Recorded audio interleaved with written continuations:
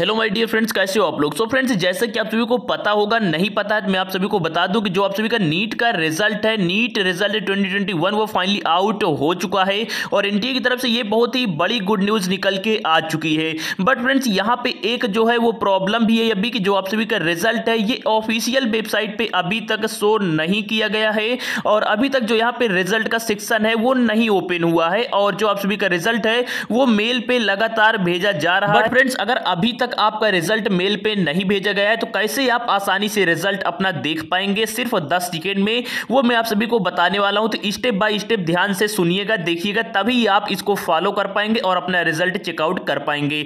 सबसे पहले आप सभी को आप स, ए, जो है ब्राउज़र ओपन कर लेना होगा और वहाँ पर टाइप करना होगा सरकारी जॉब डॉट सी ओ और सबसे पहले याद रखिएगा कि आपको अपने ब्राउज़र का जो हिस्ट्री है कुकीज उसको जो है डिलीट कर देना होगा उसके बाद ही इस वेबसाइट को ओपन करना होगा और उसके बाद आप सभी को रिज़ल्ट वाले सेक्शन पे आना होगा और वहाँ पे टाइप करना होगा।